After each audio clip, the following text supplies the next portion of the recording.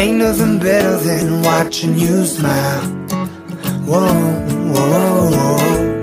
Ain't nothing better than watching you laugh. ഞാൻ കുട്ടൻ Krishnan B പിന്ന് വിളിക്കും Mr. Krishna BP, your father is a farmer, but you opted for the software industry. Why?